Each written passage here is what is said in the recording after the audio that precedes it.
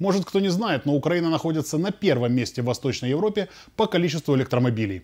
Одним из важнейших факторов, влияющих на это самое количество, наличие соответствующей инфраструктуры, которая позволяет эксплуатировать электрические авто.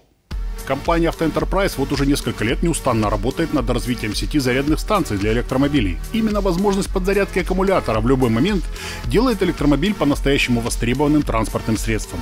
Сеть зарядок Автоэнтерпрайз насчитывает уже почти тысячу станций, но, к сожалению, усилиями только одной компании, сколь бы велики эти усилия ни были, нужное количество автозарядок не поставить.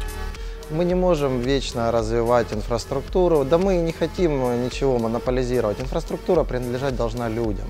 Э, наша задача была э, дать толчок, показать э, первые шаги, разработать программное обеспечение и выдать готовый продукт, удобный к эксплуатации. Для развития сети зарядных станций компания Auto Enterprise запускает уникальную программу Charge Sharing. В рамках этой программы любой желающий может приобрести и установить там, где ему удобно, сертифицированную зарядную станцию или даже несколько станций и зарабатывать на этом неплохие деньги. Схема заработка достаточно проста. Покупка зарядной станции в зависимости от ее мощности и количества зарядных портов обходится в сумму от 240 до 8,5 тысяч долларов. Самая популярная модель на два порта стоит примерно 700 долларов. Для информации, Auto Enterprise продает зарядные станции своего производства с минимальной наценкой, всего лишь плюс 5% к себестоимости. Установить можно зарядку самостоятельно, а можно заказать такую услугу у компании. Все работы плюс согласование обойдутся в сумму от 5 до 10 тысяч гривен. Вы зарядную станцию приобрели, она ваша, а я ее беру в администрирование. Я сама занимаюсь поиском контрагентом, монтаж полностью. Тем более мои материалы будут дешевле, потому что я их там по 5-10 километров сразу покупаю кабеля того же и все остальное. И полностью мы это администрируем. Даже от себя подписываем договор на размещение. То есть человек абсолютно ну, не заморачивается, ничем не занимается. Поставили зарядную станцию, что мы делаем? Наша задача. Наша задача максимально всех уведомить, электромобилиста, что есть зарядная станция. PlugShare, Google Maps, 2ГИС, Facebook. Максимально мы рекламируем, репостим, все классно, все супер.